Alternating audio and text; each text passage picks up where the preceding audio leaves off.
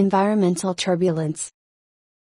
The research typology has depicted environments primarily as stable, uncertain, complex, static, dynamic, discontinuous, and turbulent 25 and the variability is known as environmental turbulence.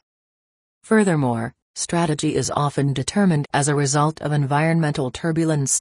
26 We have summarized the levels of environmental turbulence based on the literature descriptions and typology of environmental conditions in Table 12.3.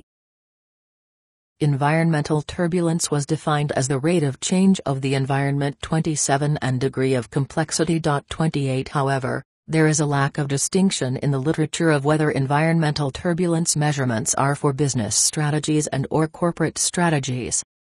Some environmental turbulence measurement tools are future-oriented, 29 whereas others are past-oriented, 30 and a third group maintains no clear distinction. 31 Typically, Strategic management is associated with future developments and issues that may impact the firm, 32 whereas competitive management 33 is primarily involved with present and near future, depending on the industry, strategy. Therefore, a distinction is required when using instruments that measure environmental turbulence.